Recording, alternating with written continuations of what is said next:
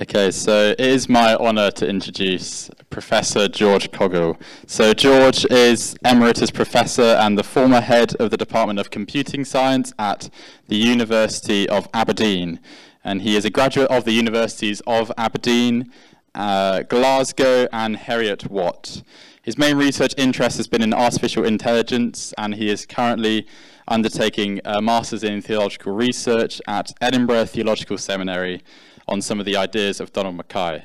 So the title of George's uh, lecture is Donald Mackay's Logical Indeterminism, God, Freedom and Artificial, Intelligence. So if you'd like to introduce George to the stage.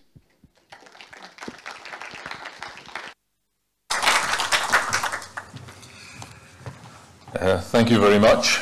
Um, when I was asked for the title for this talk, I uh, wasn't. I didn't know what everyone else was going to be talking about, so I put in what I thought was a fairly whimsical title. I didn't actually expect it to get accepted. I thought they'd come back and said, "Could you change that?" The the title, uh, the first part is uh, what I'm going to talk about, and it is mainly the focus of my uh, master's dissertation, mainly because there's already been one PhD done on Donald Mackay's thought, and you're not going to get all his thought into a MTH. I gave a talk on, a, on his general ideas to a religion and science seminar at Edinburgh University, to which the response afterwards was, that was very interesting, but you're not going to get that into 40,000 words, which is true. God, freedom, and artificial intelligence, the whimsical nature of that is, we've already had Alvin Plantinga mentioned several times. Um, his first book, well, not actually, first or second book was called God, Freedom, and Evil and I replaced evil with artificial intelligence, which in some people's minds is probably not an inappropriate uh, substitution. Um, so some of these slides may be uh, uh, have been superseded after Stuart's talk, so I hopefully I may not need to spend too much time on them, uh, on the complementarity aspects, but we'll see how we get on. So the, um, this is the introduction, in case you weren't aware, but the table of contents always gives you that kind of thing. I'm just going to talk briefly about something called informational perspectival realism to put uh, a contextualizer and updating uh, of Donald's ideas. I don't know why I keep turning around to look at the screen because it's right in front of me here. Um, that's just habit from lecturing where we didn't have these technological innovations when I was doing that up to a couple of years ago. Um, complementarity, I'll, I'll give a summary of my understanding of that he did do his, his early work on artificial intelligence, so it's, since it's in the title of the talk, I thought I'd better put something in about that, and then we'll focus in on his logical indeterminism and a concluding thought. So, uh, continuing the introduction, uh, this is probably Donald Mackay's best known uh, work, The Clockwork Image. Now, if you can read what's on the right hand side, um, Donald Mackay and I do share something. I don't, I'm I just realised I'm actually probably the youngest speaker uh, talking about Donald Mackay uh, today, which is actually quite an unusual experience for me as a retired uh, academic. Um, I didn't have the same interactions or knowledge of him. I think I met him twice that I'm aware of, but we are from the same part of the world. I grew up in Wick, which is where he was from, and his youngest, youngest sister, Elizabeth, was my first Sunday school teacher and his other sister, Anna, was my primary four teacher, and both Hector Cameron and Anna were very kind to me as a child in Wick, and they were also, uh, Hector was my minister uh, when I was a student in Aberdeen as well. So at camp, the Free Church runs camps, and Donald was a, grew up in the Free Church as well. Um, and 1975, as a 15-year-old boy, I won this prize and I was allowed to pick a book from the bookstall. So I chose uh, The Clockwork Image, which, uh, since I was very interested in science and the Christian perspective on science, looked very interesting to me. And I'd heard the name Donald Mackay. Um, I would like to say it was for something illustrious like Bible knowledge or something, but it wasn't. We got, I got the prize, as did the rest of my dorm, uh, for the sketch we did on the final night of the camp.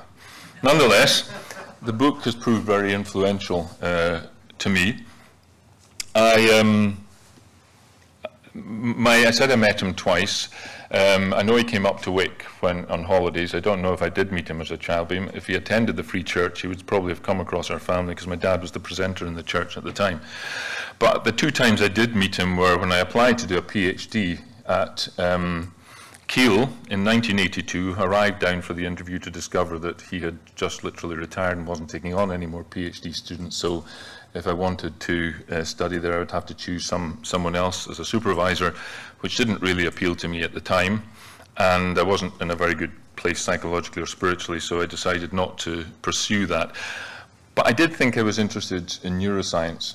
Uh, turned out I wasn't uh, because I went into I went into medical physics and worked in uh, audiology for a while uh, next door to the Institute of Hearing Research, and through that I realised I actually much preferred working with hardware than with people.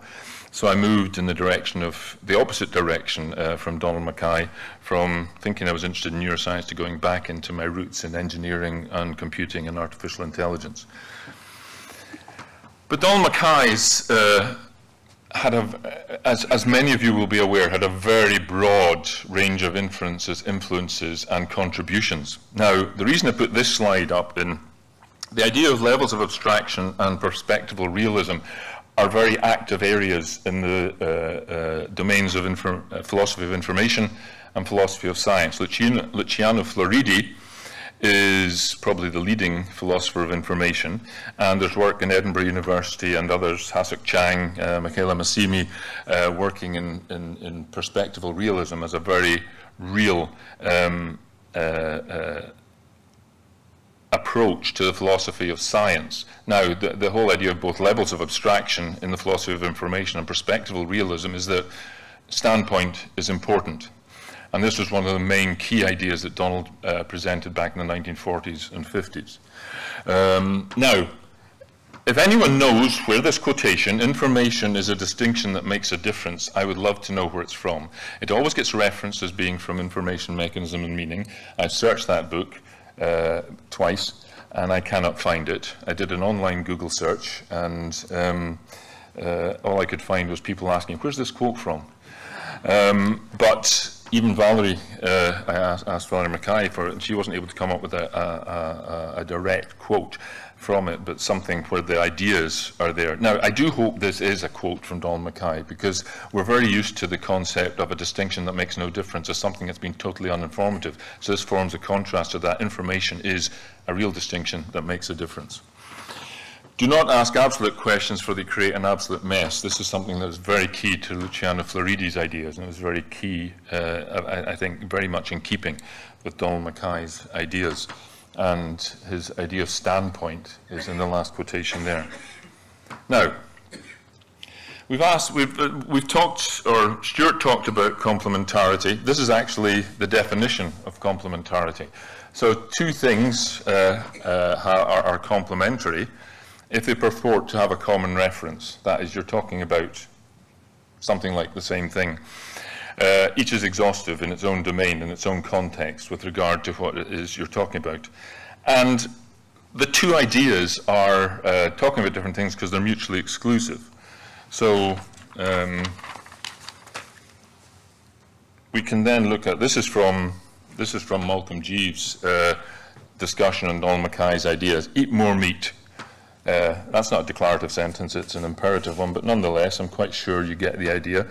Uh, um, apologies to any vegans or vegetarians in the audience, and hope nobody's triggered.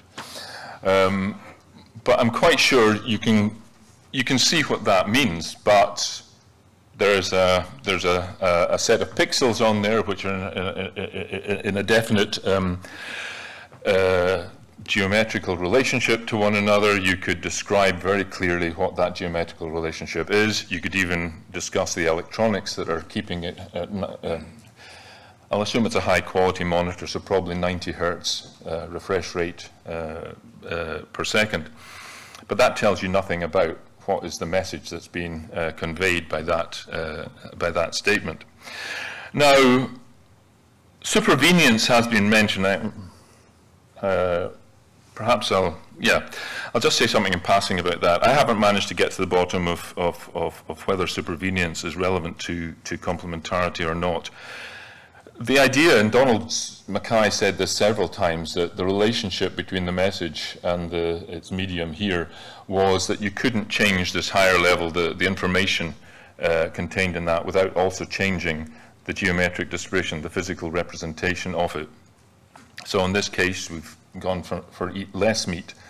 Um, I'm not sure if I can do this. It probably won't work. No, I'm just, even I am not quite that tall. Um, you could change the number of pixels. You've all seen the picture of Einstein where you remove the pixels and think that's fairly abstract, but you're still able to identify it as a picture of Einstein. If we drop the exclamation mark and the E and the T, uh, you do get to a point where the message changes. So there is a, there is a relationship between the physical uh, construction and what message is conveyed, but it's not quite as um, robust as the, the one the other direction. So if that said eat less meat, or eat more meat, or eat less meat, it becomes a bit more like something out of the Hitchhiker's Guide to the Galaxy, uh, or the restaurant at the end of the universe. Um, now, you could change the message, and so supervenience is uh, something, one thing A supervenes on something else B if you can't change A without also changing B, which is pretty much how Donald described the, the relationship of complementarity. Um, he did also talk about uh, analog computers, and if you embed an equation in an analog computer but a resistor blows, then the results you're going to get out are going to be different. So it's a bit, there's a bit more uh, uh, general relationship and complementarity than there is in supervenience. But, yeah, I think it's, it, it, whilst materialists use supervenience, supervenience does not imply materialism. So, but where we stand with that, or where, where complementarity would stand with that, is a bit of an open question. Duality without dualism, this is, I think, this is what Stuart was talking about. There's the experience, there's the I story, and the physical activity. So you can have I feel, I see, I hear, I think, I believe. That is uh, the personal thing, which takes priority over the physical story. So there will be correlates uh, in, Donald's, in Donald's mind. So, okay, so I can't point at these things. So the one that's in the box, um, I believe, that's got a particular reference. Now, uh, Don Mackay would talk about, um, I believe I'm feeling nauseous. Now, you may, you may not actually be nauseous, but you would be lying to deny your feelings in that case, and it would be related to some uh, neural activity. It's also quite important in, when we come on to logical indeterminism, because the nature of belief uh, is such that um, uh, it, has, it has special relationships uh, as you go through things. So there's a duality there. There's the what I do, and we can all, we can all relate to that, but we're not even aware of necessarily the neural activities going on, on underneath it, except when we get a headache or something like that. That can give you an indication of something going on. But this duality is there, but there's nothing in this that re requires uh, that there be two substances or, or, or whatever. There, there are two aspects, there's two real things. It's more nuanced, as Stuart said, than straightforward um, uh, uh, dualism would allow uh, monism would allow. Um, so Mackay made contributions to information theory. He was in the very early stages on, of developing what the ideas of information were in the 1940s. But as he, when he became a lecturer at King's College, he, he actually made, uh, used analog computing for early work in artificial intelligence. Um, we're all pretty used to seeing, uh, hearing about deep learning at the moment, I'm, I'm assuming. Uh, interestingly, um, Geoff Hinton, whose work is the underpinning uh, theories of, of, of, deep learning and uh, deep thought, or, and, and, and, and um, oh, the IBM one that won Jeopardy, uh, Watson. Um, the, the, the, there's all kinds of things that are interacting to bring these things together. But the neural nets approach, or the analog uh, approaches that are uh, underpin those, were developed in the 1980s. But it took till the noughties for the technology, the hardware, to be available that would actually allow those things to be implemented. Donald developed an AI uh, tool for doing machine learning. It just learned how to adapt a target on the basis of biases and weights in a, uh, a machine that predated op amps and used thyristors and things like that. But it was one of the earliest machine learning examples out there. He just used it for teaching, for example, but it, it shows he was making contributions even at a time that machine learning hadn't really even taken off as, as a mainstream uh, uh, aspect of AI.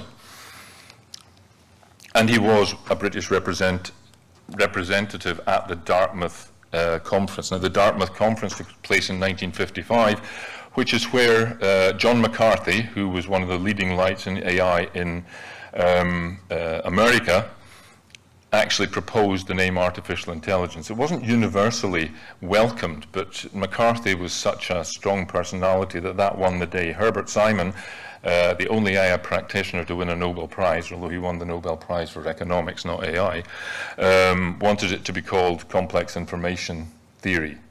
Um, but AI uh, has, has, has won the day. Um, unfortunately, in some people's minds, because it has created a whole uh, raft of um, sociological uh, fears, which wouldn't have been uh, associated with something like complex information theory, but it's less romantic. Mackay wrote about artificial intelligence. In 1984, he wrote a, a, a paper. It wasn't published until uh, the, the book The Open Mind uh, came out. And his conclusions were, being an analog man, uh, that rule following is inadequate to express the requirements for all intelligently creative behavior, but stochastic principles are available to remedy, remedy its deficiencies. Now, the stochastic behavior he had in mind was analog. Uh, he gave the examples of doing experiments on analog machines. Pamela McCorduck, in her book uh, Machines Who Think, has an interview with Donald Mackay in which he says he is an analog man, but he doesn't actually believe that it's totally analog. He, he argued for a hybrid approach uh, to be taken.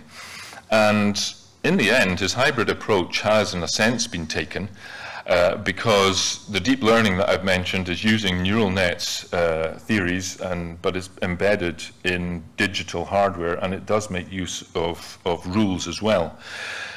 The big problem with neural nets and with deep learning, I'll say this in passing, is that the, the intelligence is embedded and actually extracting the rationales for the conclusions that are reached is actually very difficult to do. So you do need some kind of rules and symbolic representation, especially now uh, where applicable AI, explainable AI, and uh, accountable AI are the big research areas because people aren't just going to accept the conclusions of an AI unless it can explain why it came to, and you can actually assess the reasons why it came to its conclusions.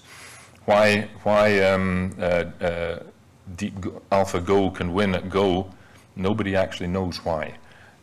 People are trying to find out, but it's a bit of a mystery. Just as the, I'm no neuroscientist, but I think there's still a great deal of mystery in neuroscience as well.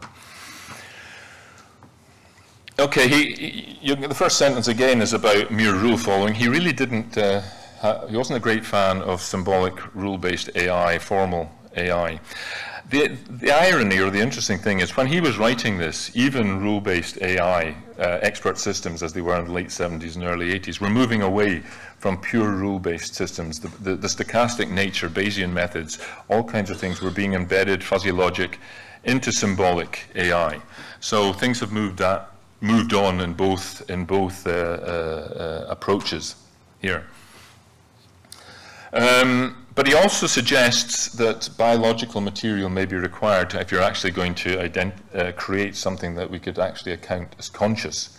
Uh, and you now have systemat systemat systems and synthetic biology, where now it's about 12 years ago since I uh, collaborated on synthetic biology, but the whole idea of synthetic biology was using uh, various real-world subcellular uh, entities, modifying them to actually do computational tasks. So things are moving on in that direction as well.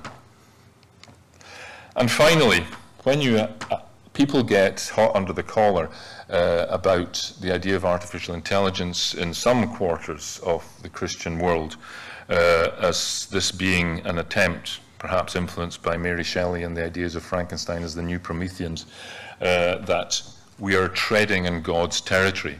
But Mackay's attitude to that was that this is not, in fact, uh, the case. It's not that we are creating something, but procreating something. And we do that all the time. Humans uh, go from gener generation to generation by the process of sexual procreation.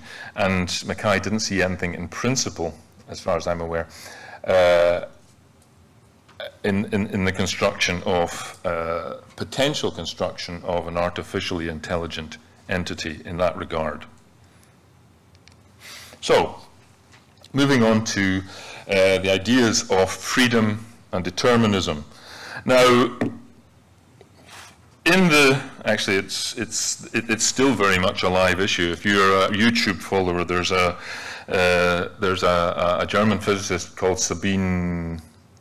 Ooh, her surname just escapes me, who is very much advocating uh, the notion of determinism, uh, that everything is determined from the laws of nature and uh, the laws of physics and maths, and nothing we can do about it. Um, that was very much the idea people like uh, Clarence Darrow, the lawyer, and uh, Jacques Monod, a Nobel Prize winner in biochemistry in the 1970s, basically, ain't me, my lud, it's my genes, uh, that everything was determined by our genetic makeup and the laws of physics, therefore we could not be held morally responsible. Mackay did not advocate, he's accused of advocating determinism. He was quite clear that he was neutral or agnostic on the matter. Uh, it might be deterministic, but there's just as likely to be indeterministic. But his whole approach was based on what happens if we suppose, for the sake of argument anyway, that the world is as deterministic as any of the most hard-nosed physicists, uh, determinists, uh, could want. Did that therefore result, as Monod said and Darrow uh, uh, uh, suggested, that man, humanity, could not be held responsible for their actions? And his answer was a very clear uh, no. And the reasons are well, this, th that quote that was on the previous page uh, can be divided up into, into four things as, uh, similar to the, the four criteria for complementarity. So the definition of freedom is the outcome of the decision is up to them. Unless they make the decision, it will not be made. Now that, in and of itself, doesn't move you much away from determinism because any determinist would actually agree with that uh, because the decision is up to them. It's just that they don't have much say in whether it's going to be made or not they are actually in a position to make the decision. Again, that could go either way. Uh, compatibilists, people who agree that uh, determinism is compatible with free will, and incompatibilists, those who hold that determinism means that uh, we're not responsible, would also hold to that. But the key things in that Mac and Mackay's contribution is that there's no fully determinate specification of the outcome of the outcome that already exists, which they would be correct to accept as inevitable and we'll come on to look more, more closely at what that actually means.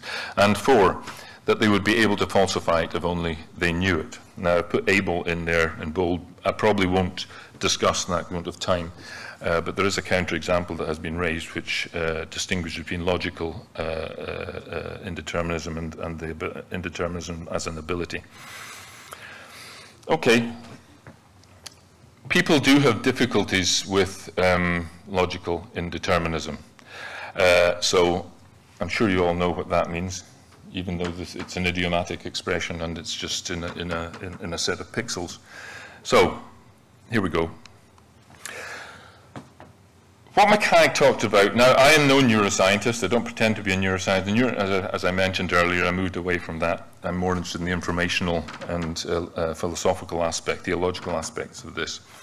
Mackay focused in on something, the various, we can have, you can look at various aspects of the brain, and one of the things he called the, the cognitive mechanism, which he divided up into something which had skills, maps, and norms. So the skills are the things you can do, like reading, language ability, uh, etc. The norms are the priorities that you have and the uh, moral categories that you work with. And the maps, the representations you have of the world around you, they're not little pictures or maps, but they're just, this is just a, a way you can represent it. It might be logical structures, it might be neural, uh, uh, uh, uh, it might be implicit structures or explicit. So that's the cognitive mechanism. So Mackay then had a, had a thought experiment. Now, whatever, whatever else uh, you hold on to, this is the key thing that you need to hold on to if you're going to uh, grasp or think about logical indeterminism. In the early 1950s, uh, Mackay was thinking about what would happen if you tried to look at your own brain. Uh, uh, and he talked about a thing called a cerebroscope. Um, so this was the thought experiment. Now, everyone will be familiar with what happens if you stick a microphone in front of a loudspeaker with an, through an amplifier. You get this amazing howl, uh, which is only uh, uh, stopped in intensity when you reach the maximum capacity of the amplifier. It would keep going on to infinity if you didn't have that, if it wasn't a physical uh, restriction. So this is what he came, the conclusion he came to is you could look at all these things in the brain quite happily, the skills and the norms, and get a picture of what they were. But what you couldn't get a picture of was the maps, your own beliefs. That's that box, the, the, the neural correlate of I believe. Because in trying to do that, the skills, uh, the maps are where you store the things that you believe. So if you're trying to see what you believe, then you're in that same feedback position, positive feedback position, that can never reach a stable situation. Um, Karl Popper had already written a paper on computational grounds uh, following a, a, variety of tracks, including the Tristram Shandy approach of trying to uh, write your own your own story and realizing you can never uh, do that until any t equals infinity. And therefore, classical and, and, and quantum physics were equally indeterministic. Mackay took a different approach in just looking at the, the, the logical structure of the relationship between uh, the brain and our ability to, to, to, to view these things. So he then went on to ask another question.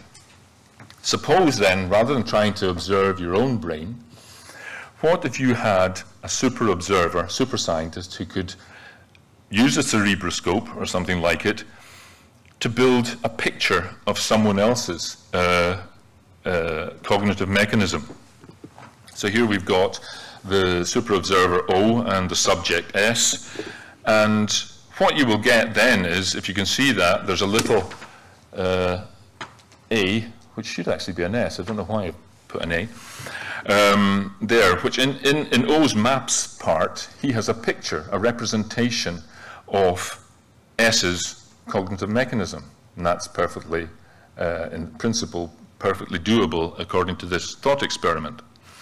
Now, in a deterministic world, you could have the laws of nature, the initial conditions, and, for any, and, and, and the physics of the brain, and you could therefore predict exactly how the brain was going to behave in the immediate future based on your observations here, just as with any other experiment in, in, in a physical deterministic world, whether it was dropping a ball, whether it was uh, even more sophisticated experiments. You could then do it. And from that, he suggested that the super observer, knowing what the correlations were between the neural uh, aspects of uh, A's cognitive mechanism and their uh, agent, agential aspect, could predict what they, are as an agent, were going to do in the immediate future and that would seem to be completely in line with what uh, determinism uh, predicts. So the next question is, is this um, something that everybody would be correct to believe and incorrect to disbelieve?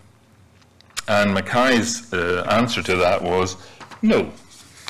And the reason is that as that is uh, given, it is correct for O, but it would not be correct for S. And the reason it would not be correct for S is that in order to achieve S, or for S to achieve the knowledge required of the prediction, some communication would have to take place. So O would have to tell S what was going to happen next. Now, S could put it in terms of, um, okay, you think you know what I'm going to do, tell me what I'm going to do. And of course, in doing so, this would change S's cognitive mechanism, and therefore the basis on which the prediction was made would no longer be applicable. S could not reflect on this in a way that would allow him to check, or her to check, what the uh, uh, cognitive mechanism was, even if they had the cerebroscope, because, because of this instability, their brain state at that point does not exist for them. So you've got this rather peculiar situation where uh, O would be quite correct uh, to believe it, but S would not. Now, There are three terms that Mackay used in this. I don't, I don't, I haven't quite used them yet, but have given me uh, angst, as actually they were what were the little irritations. I, I, I, I'm quite happy with uh, what we've said so far. But MacKay put it in terms of three terms. Uh, he talked about unconditional claim to assent, inevitability, and validity. And these caused me some cognitive dissonance because the way he defined them were not the ways I was used to them being, being used. Um, and so that's what got me looking at this more closely. Now, this is the way he put it in, in the Clockwork Image, uh, unconditionally correct uh, and unconditional claim to the assent. Now, MacKay defined unconditional claim to the assent as if somebody was correct to believe it and incorrect to disbelieve it, then it had an unconditional claim to their, to their assent. Fair enough. He also defined something as valid if it was true for somebody in a particular context, but could be not true for someone else. He wanted to reserve the word true for something that was true for everyone always, everyone, everyone everywhere. Um, so first of all, are, in logic, there are very few things which have an unconditional claim to the assent, and none of them are con, uh, contingent, and none of them are empirical. Uh, tautologies have an unconditional claim to the assent. Necessary being, or the existence of a necessary being such as God, has an unconditional claim to the assent. Whether or not I am going to do a particular action is not something which generally would be considered as having an unconditional claim uh, to my assent. So that was the first thing. The other thing was being inevitable, something being inevitable for somebody and not for somebody else. Uh, now, inevitable in that context then is, um, sounds to me like a modal uh, uh, word, and we'll come on to that in a minute. So, the way he, he put it here is by creating a table. He has oh, A's cognitive mechanism. He called it an agent, so the agent's cognitive mechanism.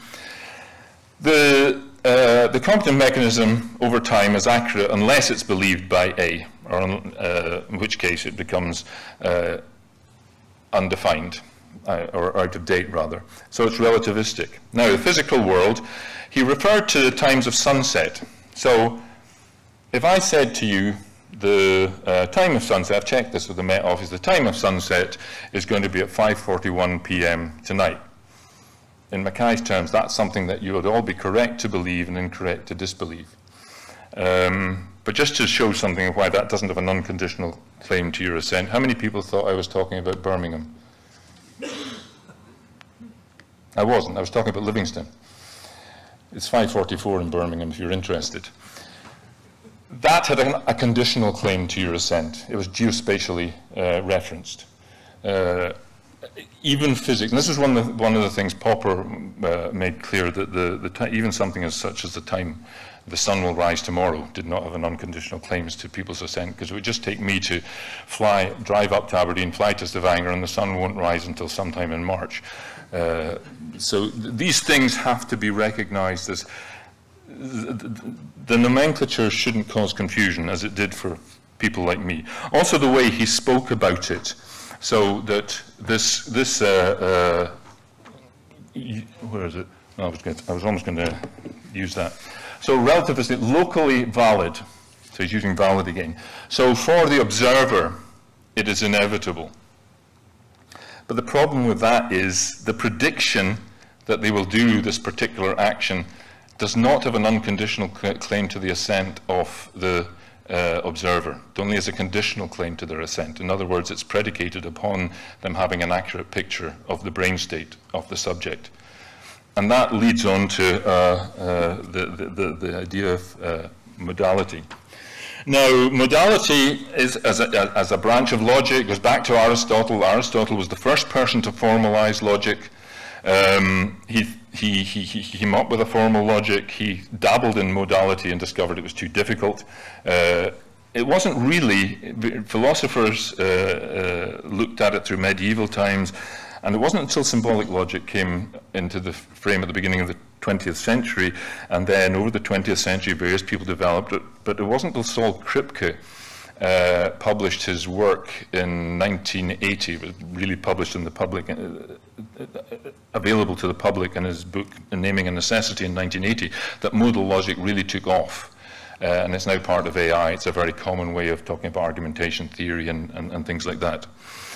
But the idea of modality goes back to medieval times, and this is a modal the modal fallacy. If each thing is known by God and seen by him as present, what is known by God will then have to be. Thus it is necessary that Socrates be seated from the fact that he is seated.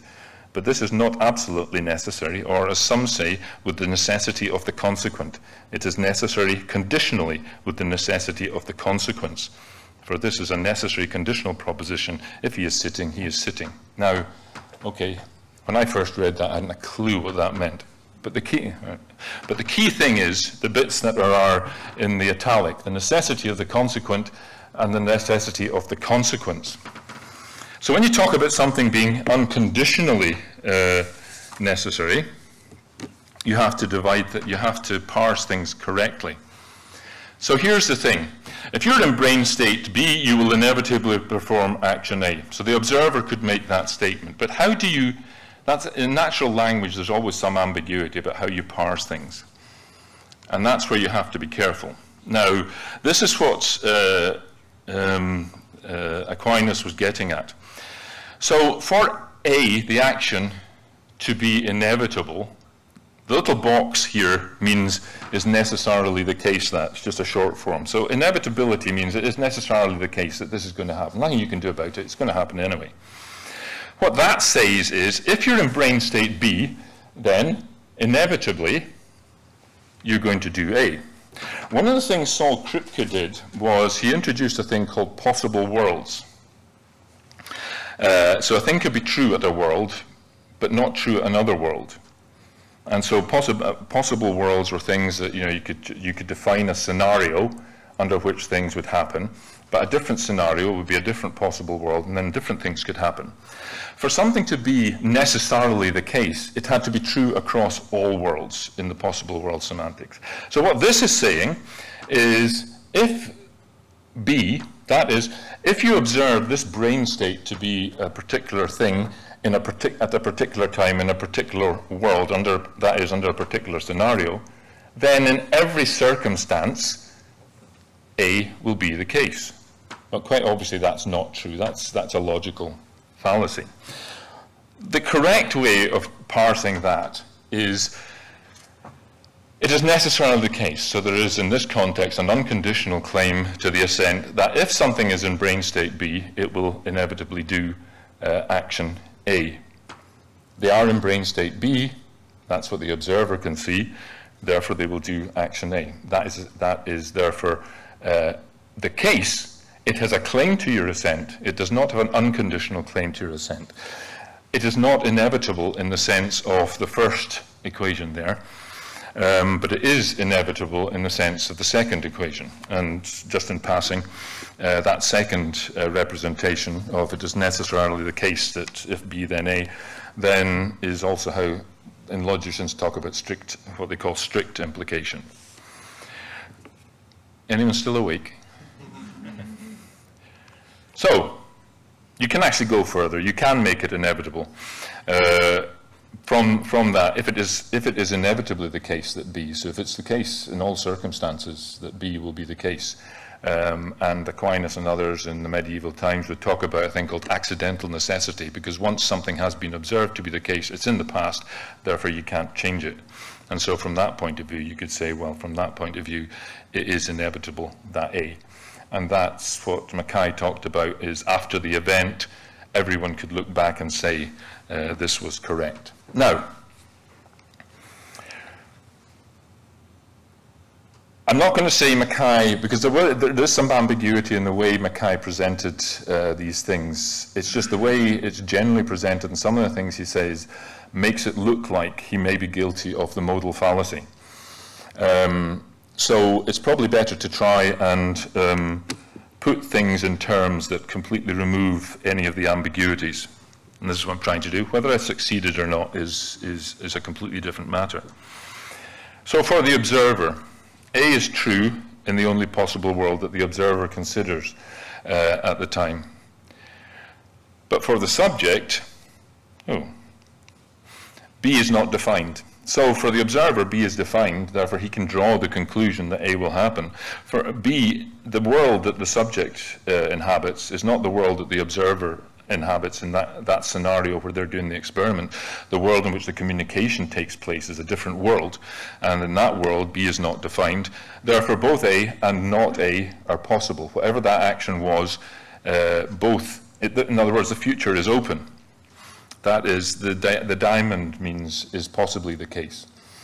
Now, I'll mention in passing uh, a debate that took place between William Hasker and uh, Donald MacKay. There's a few interesting things about that particular debate in the sense that I think Hasker actually came the closest to uh, a, a, real critique of MacKay's position, of any of his, his interlocutors. Uh, but he, they, he, arrived at saying in, in, in the final uh, analysis that both A and not A are possible. That's a tautology. He didn't talk about possibility. He talked about the outcome being A or not A. That's a tautology. Nothing follows from a tautology, therefore this is uninteresting. The problem with that is that MacKay wasn't trying to draw any conclusion from A or not A. He was, he was trying to say, this is what allows freedom. The future is always undefined. It goes back to Aristotle, whether a sea battle will happen tomorrow. You can't say anything about a sea battle tomorrow other than it may or may not happen because the future is, is, doesn't exist yet. So What's interesting about that is two philosophers, one coming from an, uh, an incompatibilist position who didn't believe that determinism and uh, uh, uh, free will could be compatible, and a, and a compatibilist like MacKay, reaching the same conclusion with regard to the object level outcomes, but reaching completely different meta conclusions.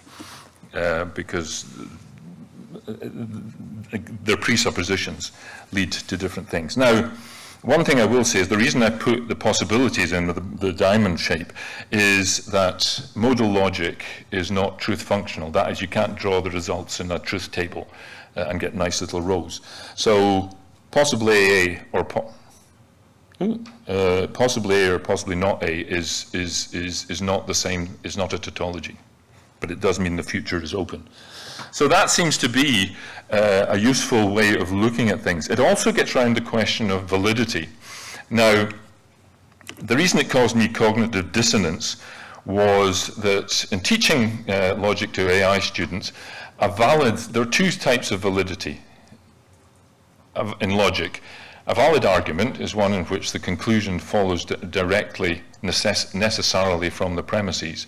And because there's a relationship between um, logical arguments and, and, you can turn them into a proposition, a, a, valid proposition is one that is a tautology. It's true always and everywhere, which is the exact opposite of what MacKay was trying to say about validity. And that's what caused me real uh, uh, uh, pain when I tried to when I was reading about it.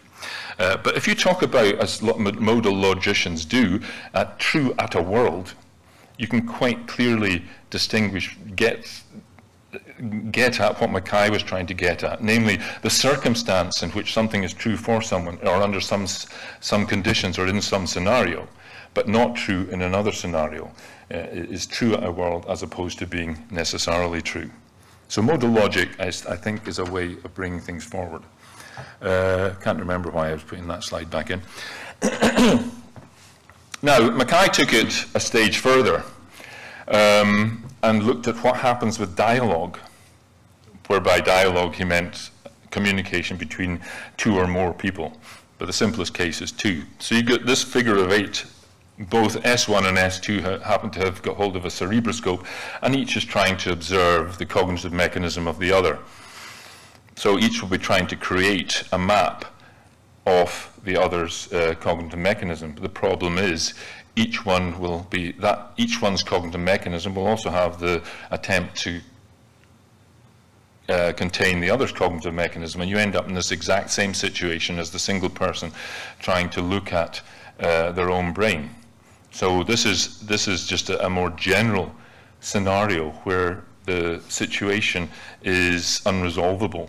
So in this particular dialogical case, this system is so tightly coupled that it's effectively a single system, just in the, as in the case of somebody using a cerebroscope on their own brain. Um, to put it into other terms, it's a bit like uh, modifications of the liar paradox, of the, the liar paradox where somebody says, everything I tell you is false. Well, is that statement false or true? It's, it's unresolvable. Now, if, I, if, I, if you have two people saying that what he tells you is true, and the other one saying what he tells you is false, you've got, some, you've got the similar kind of uh, scenario. Not that I'm saying this is directly equivalent to the liar paradox, but it gives an analogy to the kind of uh, instabilities that you can get. Now, MacKay then went on to look at the idea of God as author and God in dialogue. And he used this coupling. I couldn't get the arrows to do a figure of eight. I'm not very good with um, graphical things. Uh, similar idea, it's just in a loop. So that little box has got just the cognitive mechanisms of S1 and S2. Now, they cannot have a complete picture of their own um, uh, brain states or each other's brain states. But a, a third observer who was not interacting with them could. And MacKay used this to distinguish between God in dialogue with people in the creation, so in the incarnation, and God as author who stood outside of that dialogical situation to keep uphold everything by the word of his power. Um, now, there are complications with the Trinity, but one of the things he said this did suggest is that whatever else the, uh, we were going to say in an apologetic sense is that creation being the way it was, that if these structures are as he has identified them, then God cannot be a single person. Because if God has come in incarnation, in dialogue with us, then he could not be omniscient at the same time because there would be certain things he, he, he in, in, in incarnation could not know. But God as author another person standing outside that situation could be. Now, whilst that does not go any way to proving the existence of God, it certainly does contribute to the idea that uh, if there is a God, he must be multi-personal. It doesn't say it's a trinity, but uh, th there, is, there is scope there for moving forward on that. Now, in anyone's uh, ideas, no philosopher has ever written anything that wasn't going to be criticized by other philosophers, and rightly so. That's the way philosophical and theological debate progresses. And, and, needs, and th there needs to be updating as, as more information becomes available. What has disappointed me in particular about Donald MacKay is that in the time since he died, there has been an absolute plethora of um, literature on the uh, interaction between determinism or the free will question, both from a compatibilist, incompatibilist, determinist, indeterminist, all kinds of combinations. More publications in the past 40 years than in the previous four centuries. And yet, I have not yet come across anyone who has referenced Donald MacKay's work or contribution, which to me is a bit sad. Don't have to agree with them. It, I wouldn't expect them to agree with them. They don't agree with each other. Um, but to ignore him, as, as Stuart also referenced various people talking about things, but not referencing uh, Donald MacKay. Um, I think Christians in science and Christians who are looking at these questions as we, as we should be, uh, should be developing his ideas because I think there is, there is a lot of scope there for development uh, and his ideas do warrant more attention than they are currently receiving. And that's the only conclusion I wish to uh, leave you with uh, today. Thank you very much.